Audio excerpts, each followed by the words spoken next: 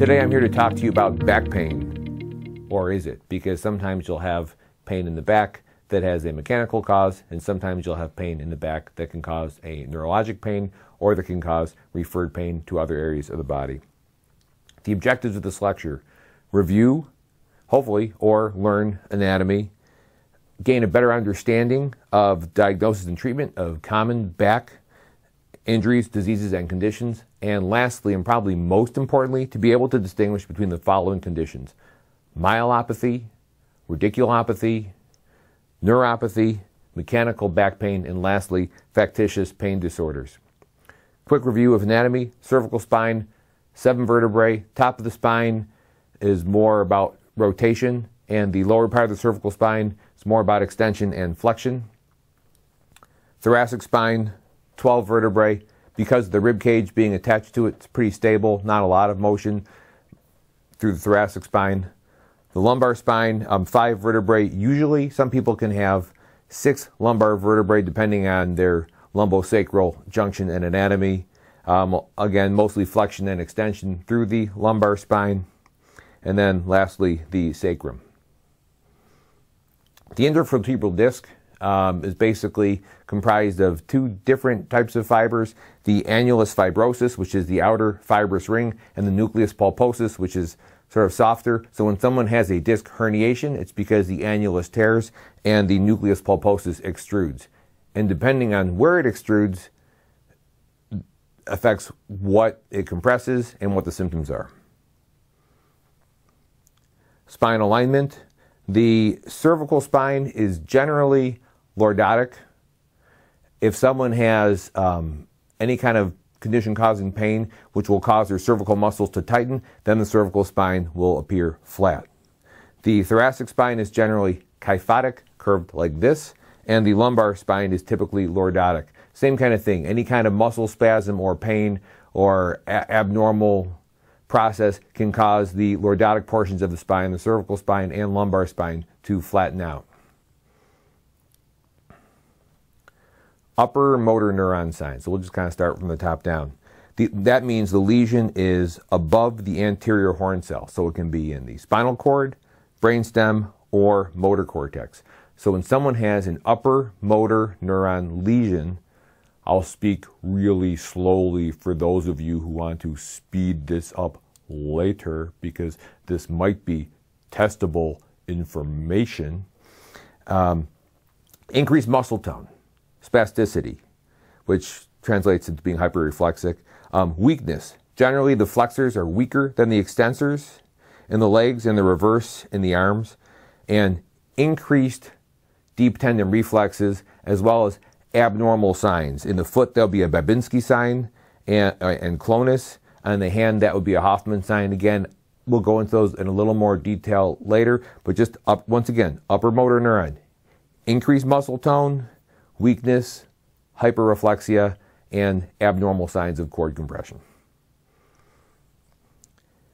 Again, the, you can further localize this depending on where the cord is compressed. A cord lesion can also cause sphincter symptoms, a sensory level, and a dermatomal pattern, and bilateral motor signs. A brainstem lesion can cause disruption of higher functions, dysarthria, dysphagia, Horner syndrome, cerebellar signs, and spinothalamic sensory loss, which is actually hard to say quickly, but I seem to have pulled it off. Um, a lesion of the motor cortex, so again, high, as we go higher up to the brain, is associated with frontal signs, dysphagia, hemianopia, and disturbance of sensory function. This is a sagittal MRI um, showing basically the, the gray part in the middle is the spinal cord the white stuff around it is spinal fluid. On, the, on this part of the slide, we see the vertebrae, and the area between the vertebrae are the intervertebral discs. In this case, this would be considered a fairly narrow spinal canal, and the discs at these levels here are protruding into the spinal canal, causing cord compression. How can I tell it's cord compression? Because the signal in the cord at the level where it's compressed is different than the signal in the cord in other places. And that's sort of how it works with MRI because MRI, you know, different tissues have different characteristics depending on how fast or how slowly you're spinning the magnet. And so if tissue has a different look on MRI, then that's usually pathologic. So if you have a cord compression and the cord usually looks gray and you have an MRI section which highlights fluid, then the cord where it's compressed will look a little whiter because there's more of a fluid intensity to it. That's not going to be something that's on the test. So this is a post-operative radiograph of someone who had um, a, a significant compression of their spine with narrowing of the canal, much like the person who we, who we saw in the previous slide, with basically stenosis at multiple levels, a very narrow canal, protruding discs. And so when you decompress the canal, sometimes you render it unstable, so you can't simply just decompress the cord and decompress the nerve roots. In this case, if you have to do a wider decompression, you have to stabilize it. In this case, it's stabilized with two rods and screws so that the canal is open and now stable. Sometimes you have to go to the front and back of the spine to stabilize. In this case, they have a plate on the front of the spine stabilizing and rods and screws on the back.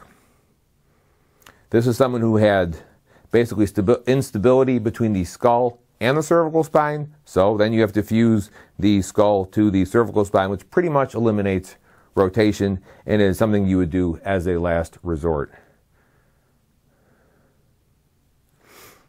This is a common condition causing stenosis. This is ossification of the posterior longitudinal ligament, or OPLL. Again, this won't be on the test, but any condition that takes up space where the cord or nerves are supposed to be can cause, and usually does cause, neurologic symptoms. When you have ossification of the posterior longitudinal ligament, it's in the center of the canal, so it compresses the cord. When you have lesions that are on the sides of the canal, it's more likely to compress a nerve root. And this just shows a uh, one level discectomy and fusion um, that will be done if someone had a herniated disc with some potential instability. This is another slide of someone with ossification of the posterior longitudinal ligament. As you can see, if that whole ligament ossifies, it takes up a lot of the canal and can cause severe stenosis. And because it's compressing the spinal cord, causing cord symptoms or myelopathy. This is someone who had ossification of the posterior longitudinal ligament. In this case, you just cut the lamina on one side and then completely and then cut the lamina on the other side partially and then swing the entire back of the spine open like a door. And this is called, because we're very, very creative with names, an open door laminoplasty, where one side of the lamina is a hinge and the other side is the door, and you just open up the entire back of the spine to create more room for the cord. Okay, so that, that kind of concludes the upper motor neuron things that are caused, um, that it would include myelopathy and anything higher up. So just a quick review, upper motor neuron, anything at the level of the um, upper motor neuron or above that. Now we're getting into lower motor neuron signs. So this can either be in the anterior horn cell or distal to the anterior horn cell. And these findings are very different. This could be basically at the level of the nerve root. It can be at the level of the brachial plexus. It can be at the level of a peripheral nerve. When you have a lower motor neuron compression, you have decreased muscle tone. So just the opposite of upper motor neuron signs. Weakness and wasting. Both these conditions can have weakness and muscle loss over time. And the difference here is areflexia. When you have an upper motor neuron lesion, you have hyperreflexia. When you have a lower motor neuron lesion, you have areflexia. Once again, for those of you speeding it up, anytime you see a condition with three or four features, that generally lends itself to a test question. No hints. Cauda equina syndrome. Cauda equina syndrome is acute compression of the cauda equina, which is how it got its very clever name. Um, this is when you get a compression, but below the level of the cord, at the level of the cauda equina, so below L1, L2. Um, causes are acute disc herniation, so lower in the lumbar spine, um, or any kind of acute space occupying lesion. So if you had a tumor and you had a bleed from the tumor, or if you had an infection, and the symptoms are usually abrupt and severe. Anytime the body has a change that occurs slowly over time, in general, the symptoms aren't abrupt. Cauda equina tends to be abrupt, like a big disc herniation, big infection, big bleed, causing acute neurologic issues consisting of severe pain, numbness, altered gait, in some cases, ur- urinary retention, and sexual dysfunction. This is an emergent condition. Workup can generally be inferred from what the accompanying symptoms and signs are. So if someone presents with back pain going down their leg, you're like, okay, that's probably that's sciatica, probably a nerve root compression. If someone has weakness of their biceps with the absence of a biceps reflex, um, you know, if they if they don't have any kind of upper motor neuron signs like no Babinski or Hoffman sign, then it's probably a lower motor neuron, so at the level of nerve root or distal. And if they have spasticity distally, like in the legs, then you would think that's probably something that's higher. Weakness of thumb abduction, wasting of the thenar eminence, numbness of the thumb, index, middle, and half of the ring finger. That's when you get into a peripheral lesion. That would be distal median nerve, which would be the findings you'd have in carpal tunnel syndrome. So you always kind of work either from the lesion backwards or centrally distally to determine where the lesion actually is based on what your knowledge is of what it is innervated by what. So in the case of like carpal tunnel syndrome, if someone has exclusively median nerve findings in branches of the median nerve that are distal to the wrist, that would make sense. Workup is basically starts with a careful history. Usually, in terms of your history and physical examination, you're going to have a pretty good idea of what's going on if you take a good history, and your physical examination will be done mostly to confirm what you think based on the history, not as like a further, you know, trying to figure out what it is. Um, the careful history should be followed by a comprehensive physical examination. So even if I see someone coming in complaining of numbness in their hand, I'm still going to examine the cervical spine. I'm going to see what kind of maneuvers irritate them. Um, if someone's got a low back problem, I'm going to evaluate their hip Again, you want to make a distinction between when someone has pain, if it's mechanical, just from a joint, or if it's of a neurologic origin and the pain is just referred to the joint, but not indicative of pathology in the joint. Um, followed by a careful neurologic examination. At that point, I'll determine whether I need diagnostic studies. In general, you really shouldn't order a diagnostic study unless it's going to change what you might do. If it gets you to a point on your decision tree. Like if the MRI shows this, I'm going to do that. If it shows something else, I'm going to proceed differently. If the diagnostic test is not going to change what you're going to do clinically, it probably is not a necessary test. Um, and then once you've done done your whole history, physical, gotten whatever diagnostic studies you feel you needed, then it, that's the point where you'd make a differential diagnosis, and then proceeding from most likely to least likely and form a treatment plan. I think one of the biggest things you run into clinically, if you make a decision too quickly without reviewing all the facts, then you sort of close yourself off to other possibilities, and that's when things get missed. That's why you have to develop a routine to your history, a routine to your physical, a routine for how you look at an x ray, a routine for how you look at lab tests, because you want to make sure that you do things the same way every time and that you have a routine. Because otherwise, if you focus on something too early, your mind kind of closes off and you may miss something.